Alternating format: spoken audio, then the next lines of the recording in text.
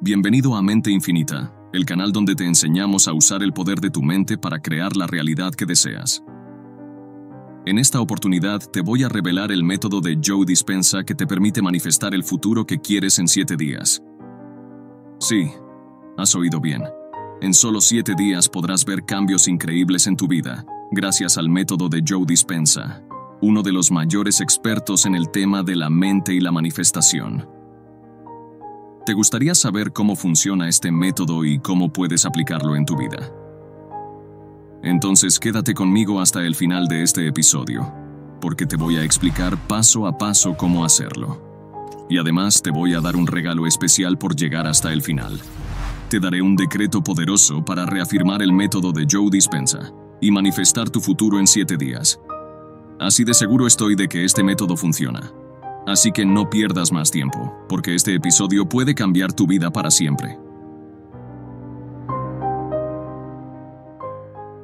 El método de Joe Dispensa se basa en la meditación para acceder al subconsciente y así dejar atrás patrones mentales negativos y transformar la vida.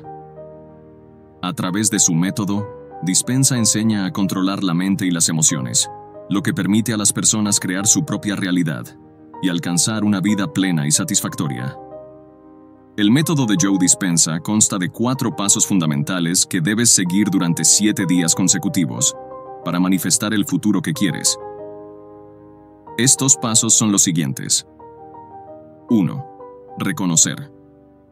El primer paso es reconocer los pensamientos, las emociones y las conductas que te limitan y que no te permiten avanzar hacia tus objetivos. Estos son los hábitos que has adquirido a lo largo de tu vida y que se han grabado en tu subconsciente, condicionando tu realidad. Para reconocerlos, debes observar tu mente con atención y sin juzgar, y ser honesto contigo mismo. Puedes hacer una lista de los pensamientos, las emociones y las conductas que quieres cambiar y que no te sirven. Por ejemplo, si quieres manifestar una relación amorosa, pero tienes pensamientos como no soy lo suficientemente bueno, nadie me va a querer, el amor no existe. Debes reconocerlos y anotarlos. Lo mismo con las emociones que te generan esos pensamientos, como la tristeza, el miedo o la frustración. Y lo mismo con las conductas que reflejan esos pensamientos y emociones, como el aislamiento, la desconfianza o la dependencia. 2. Desaprender. El segundo paso es desaprender esos hábitos que te limitan y que no te hacen feliz. Para ello debes romper el ciclo de repetición que mantienes con ellos y crear un espacio para lo nuevo. Esto implica dejar de reaccionar de la misma forma ante los mismos estímulos y salir de tu zona de confort. Para desaprender, debes usar tu voluntad y tu intención, y decidir conscientemente cambiar tu forma de pensar, de sentir y de actuar. Puedes usar afirmaciones positivas, visualizaciones y meditaciones que te ayuden a reprogramar tu mente. Por ejemplo, si quieres manifestar una relación amorosa pero tienes hábitos que te impiden hacerlo, debes desaprenderlos y sustituirlos por otros más beneficiosos. En lugar de pensar no soy lo suficientemente bueno, puedes afirmar soy una persona valiosa y merecedora de amor. En lugar de sentir tristeza, miedo o frustración, puedes sentir alegría, confianza y esperanza. En lugar de aislarte, desconfiar o depender, puedes relacionarte, confiar y ser independiente. 3. Reaprender. El tercer paso es reaprender nuevos hábitos que te acerquen al futuro que quieres y que te hagan sentir bien. Para ello, debes imaginar cómo sería tu vida si ya hubieras logrado tus objetivos y cómo te sentirías al respecto. Debes crear una imagen mental clara y detallada de tu futuro deseado y generar las emociones que lo acompañan. Para reaprender, debes usar tu imaginación y tu emoción, y sentir como si ya tuvieras lo que quieres. Puedes usar técnicas de visualización creativa, meditaciones guiadas y ejercicios de coherencia cardíaca que te ayuden a sincronizar tu mente y tu corazón. Por ejemplo, si quieres manifestar una relación amorosa, debes reaprender cómo sería tenerla y cómo te sentirías con ella. Debes visualizar a la persona que quieres atraer, cómo es física y emocionalmente, cómo te trata y cómo la tratas, cómo es vuestra convivencia o qué actividades hacéis juntos. Debes sentir el amor, la pasión la complicidad o la armonía que los unen. Debes vivir en tu mente la relación que quieres como si ya fuera una realidad. 4. Recrear. El cuarto y último paso es recrear tu realidad de acuerdo con el futuro que quieres y que has imaginado. Para ello, debes actuar de forma coherente con tu visión y con tus emociones, y manifestar tu nueva identidad en el mundo. Debes ser congruente con lo que piensas, lo que sientes y lo que haces, y alinear tu energía con la frecuencia de tu futuro deseado. Para recrear, debes usar tu acción y tu coherencia, y demostrar con hechos que eres la persona que quieres ser. Puedes usar técnicas de acción inspirada, meditaciones de apertura y ejercicios de gratitud que te ayuden a conectar con el campo cuántico de las posibilidades. Por ejemplo, si quieres manifestar una relación amorosa, debes recrear tu realidad de acuerdo con tu deseo. Debes actuar como si ya tuvieras esa relación, cuidando tu aspecto, tu salud, tu autoestima y tu comunicación. Debes sentirte agradecido por el amor que ya tienes y que estás a punto de recibir. Debes estar abierto a las oportunidades que se presenten, sin forzar ni manipular, sino dejando que fluya la magia de la sincronicidad. Estos son los cuatro pasos que debes seguir durante siete días para manifestar el futuro que quieres con el método de Joe Dispensa. Te recomiendo que dediques al menos una hora al día a practicar este método, preferiblemente por la mañana cuando tu mente está más receptiva. También te sugiero que lleves un diario donde anotes tus progresos, tus dificultades y tus logros.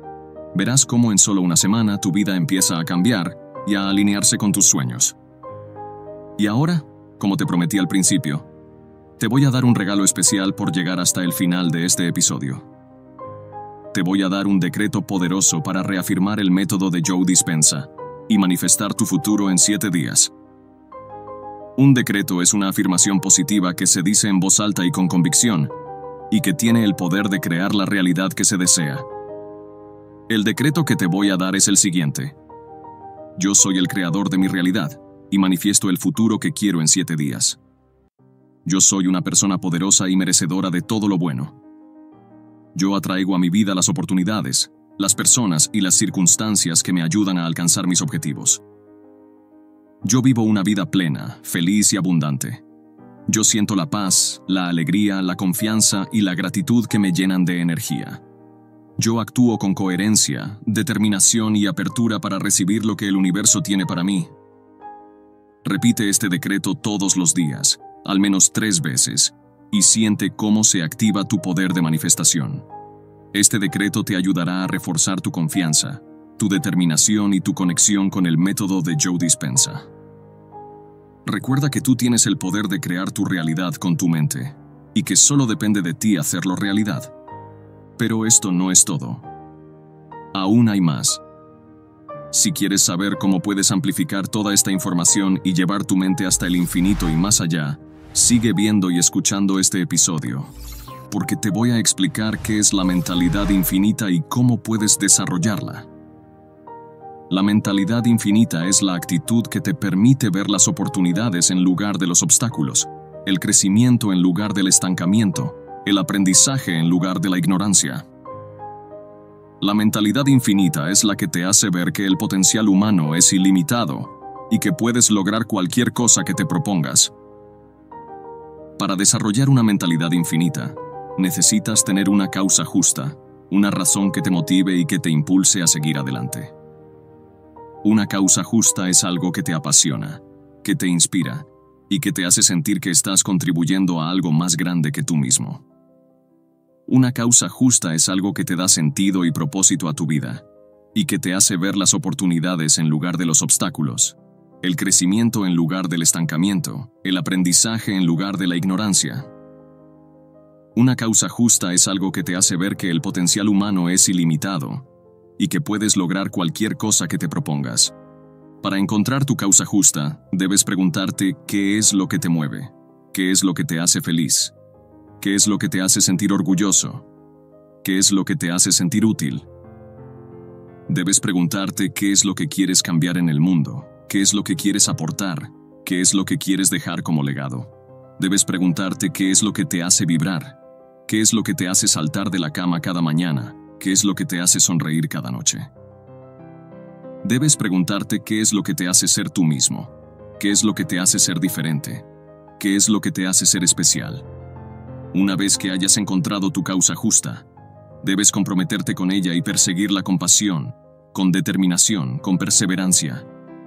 Debes alinear tu mente, tu corazón y tu acción con tu causa justa y actuar en consecuencia. Debes rodearte de personas que compartan tu causa justa y que te apoyen, te motiven y te enriquezcan. Debes comunicar tu causa justa con claridad, con entusiasmo, con autenticidad. Debes vivir tu causa justa con integridad, con responsabilidad, con generosidad. Al desarrollar una mentalidad infinita, no solo estarás manifestando el futuro que quieres, sino que también estarás contribuyendo al bienestar de los demás y al progreso de la humanidad. Al desarrollar una mentalidad infinita, no solo estarás creando tu realidad, sino que también estarás creando un mundo mejor.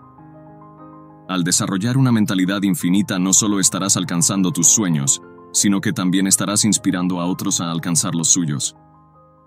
Espero que te haya gustado este episodio y que te haya servido de ayuda.